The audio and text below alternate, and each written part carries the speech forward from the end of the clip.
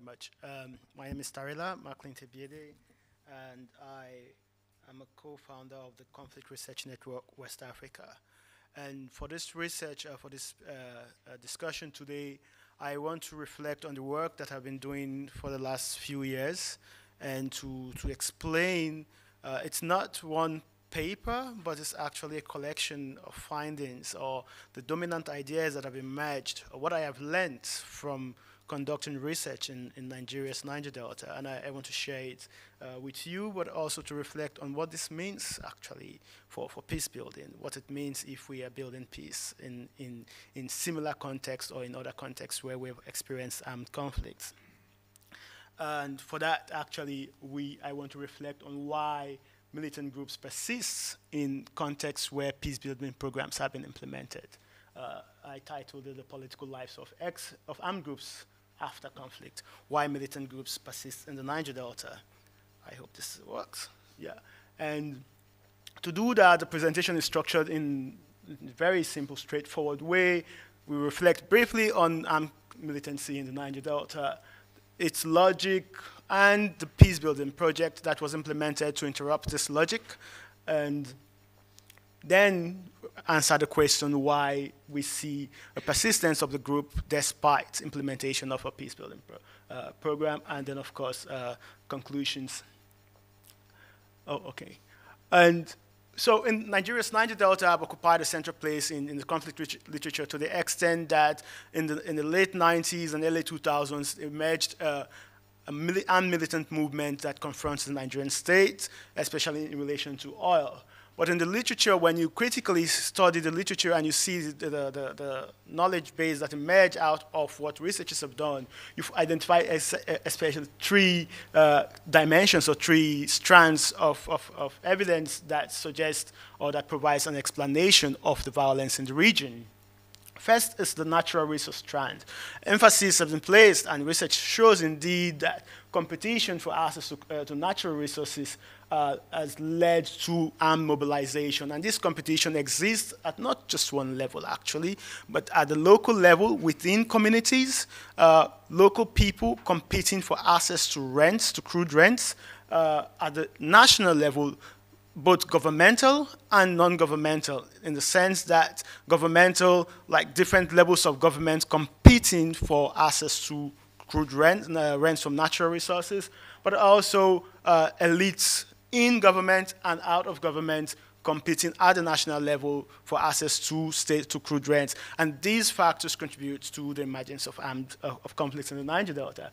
But beyond access to natural resources, we also see that communal violence, actually, which is an important variable uh, for understanding the conflicts in the Niger Delta, as it is not limited, uh, evidence has shown, and also in my own work, has shown that the conflicts are actually not limited to, to natural resources. While, while natural resources play a role, that competition within communities for power, competition within communities for, uh, for land and other historical factors contributes to the emergence of armed conflicts in the Niger Delta. And finally, when uh, we see that electoral violence in, in, in, the region, which is not limited to the region, but is a, a common challenge in the political process in Nigeria, has contributed to the uh, accumulation of arms by youth groups that eventually fed into the overhacking conflicts in the Niger Delta. And the lesson we learned from this part of the work is that while in the context of conflict, that there are more multiple layers of the conflict, and we don't just uh, cannot explain conflict with just one framework. And I mean, this is in, reflected in the works of many people, even in, in, in, in this room uh, today. But specific then to the Niger Delta, when, when the conflict emerged and became a real armed conflict uh, in the sense that an anti-state movement, we see different uh, outcomes, actually. And when you look at the research published by many other scholars in this room and even beyond, and myself, uh, you see that armed militants emerge in the context of competition for access to natural resources and rents and you see armed militants participating in illicit economy, uh, like uh, uh, selling uh, crude oil, like extracting crude oil and putting it in, into the, in the market. Um, But at the formal level, the distribution of crude oil rents is actually determined by state power. So the, the state remains a dominant actor irrespective of the, the, the competition that exists.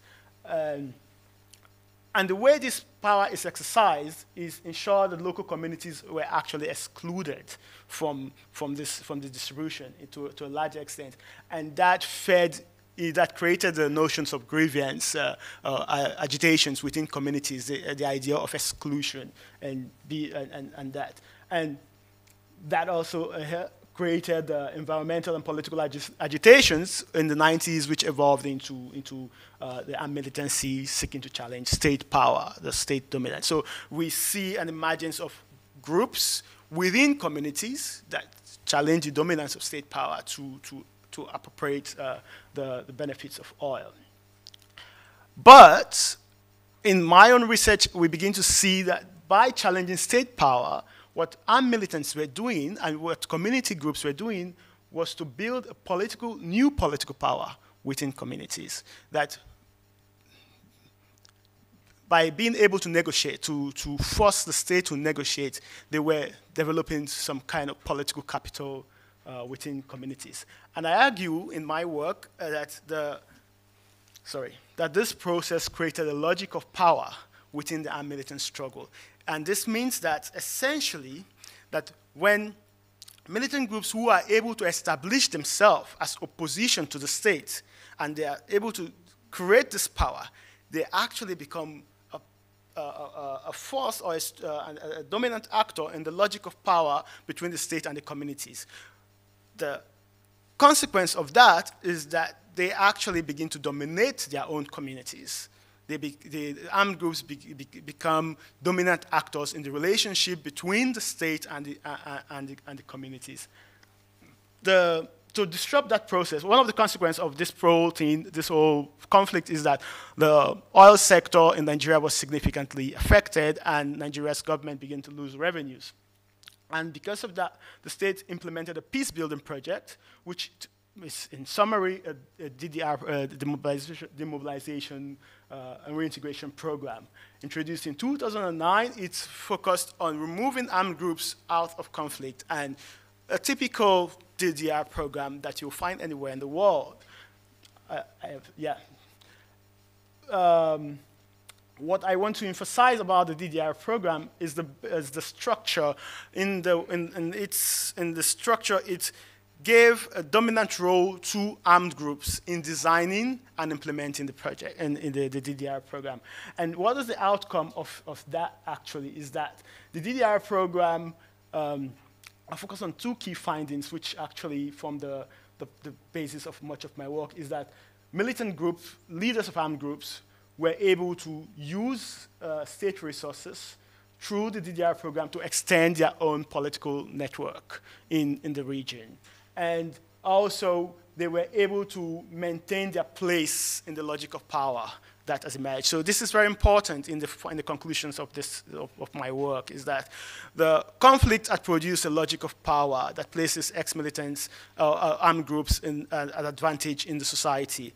And in implementing the peace-building program as this, that the resources and actually the state violence, not just financial resources, but state violence became resources or became tools used by armed groups to maintain their powers in the community, in the communities. And to do this, this exactly, I mean, in conclusion, summarily, this is why um, this is why militant, group, militant groups persist in the Niger Delta. And Therefore, in maintaining their positions of power, they continue to exclude other actors within communities. And what we see in the region is as you will see in recent times when people ask why do militant groups persist after DDR programs, is that new groups emerge to challenge this power.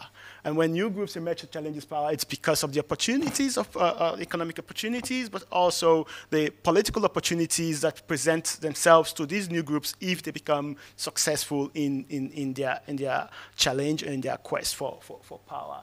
And, and rightly so, again, you see a, a cycle of violence where connected to the illicit economies, um, new groups, uh, former militants negotiate with new groups and if possible, conf confront them. And key lesson in conclusion, I have one minute. So the key lesson for policy is that when building peace or when designing peace building programs, that we should seek to disrupt the logic of power that, was, that has emerged out of, of violent conflicts. Where peace peace building programs reinforce this logic. We may have peace, but indeed that we are sustaining a logic of power, of power that is generated from conflict and eventually may lead to further conflict or other forms of conflict that may not be the original conflict we are seeking to resolve uh, in, from, from the start. I, I, hope that this provides some, some thoughts for reflections and that um, I'm happy to provide more answers or uh, respond to your questions as we go. Thank you very much.